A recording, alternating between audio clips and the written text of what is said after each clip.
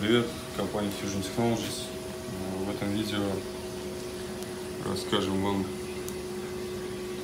об особенностях работы с текстурой LZV 004B.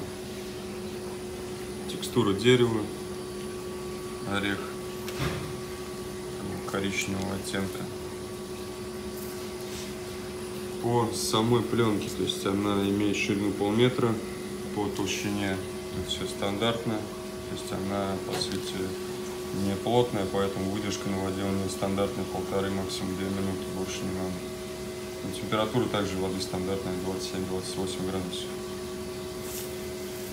По базам под эту текстуру можно печатать абсолютно на любой базе, кроме, соответственно, черной, потому что на черной ничего видно не будет. Самая оптимальная база бежевая, какого-нибудь э, шоколадного оттенка тоже интересно получается эффект. А так вообще, в принципе, любую базу можно использовать. Сейчас отпечатаем образец, покажем, так скажем, особенности ее работы на, на образце.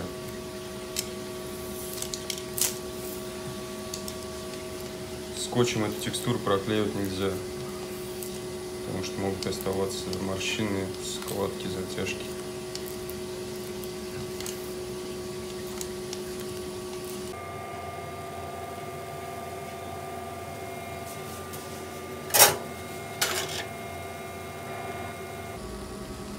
То, что она сморщивается, это нормальная ее реакция на воду. Она так начинает растворяться. Выдержку делать будем полторы минуты. Вода 27. Пленка не плотная, соответственно, активатора на нее много лить не надо. Тут даже можно налить чуть меньше стандартного количества. У меня, допустим, стандарт 3 оборота, на это можно сделать 2,45 примерно, 2,5. После нанесения также выдержка у него небольшая, примерно секунд 5-10 достаточно будет, она очень быстро растворяется. По крыскопульту, ну, уже говорю, подача чуть меньше стандартного, на четверть оборота меньше давления, в принципе, как обычно, единиц 1,2 максимум.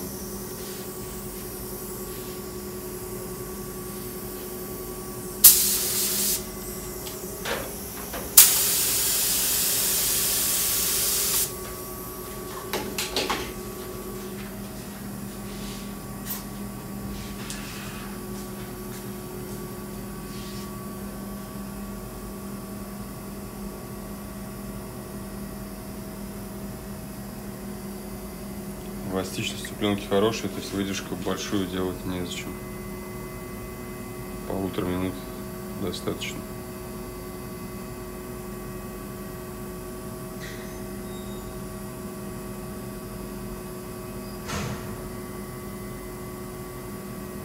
Если слишком большую выдержку делать, более там, двух с половиной, трех минут, то контрастность э, цвета теряется, более бледный становится рисунок.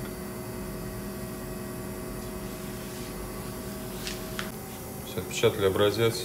Такой вот оттенок получается на белой базе. Тоже достаточно интересно. Все, в принципе, легло нормально. Пленка хорошо растворилась. Единственный момент, пару точек мелких появилось. Видимо, соринки были, какие-то мелкие пузыри воздушные. Но вот такие вот пару мелких точек, это не повод там деталь переделать. Это все можно без проблем подкорректировать. Очень просто. Покажу, как это делается. Берете кисть тонкое художество, в данном случае колонковая тройка. Макаете ее в активатор и потом с пленки собираете краску. Соответственно, с той стороны, на которую вы наносите активатор. Краска на пленке растворяется и получается, что оттенок именно тот, который нам нужен.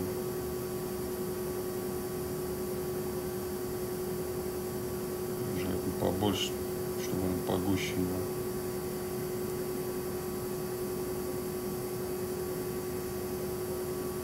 И аккуратно в тех местах, где точки появились, подкрашиваем. Только не мажем, там не надо тыкать пятнами, а такими штрихами легкими закрашиваем.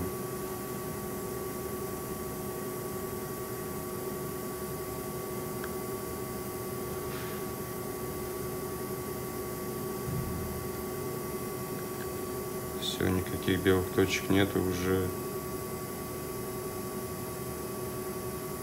В принципе, никто и вглядываться не будет. Да и самому потом после лака уже тяжело будет найти, где они были. Какой момент. То есть текстура такого светло-коричневого оттенка получилась на белой базе. На любой другой, соответственно, оттенок также будет меняться. Плюс еще можно данную текстуру тонировать кэнди краской после печати. То есть, допустим, отпечатать на белой базе, э, взять коричневый кэнди, к примеру, и нанести несколько слоев до нужного оттенка. То есть эта текстура хорошо тонируется. Вот. Если возникли вопросы по работе с данной текстурой, либо с какой-либо другой пленкой, можете обращаться на техподдержке, объясним, подскажем правильный совет.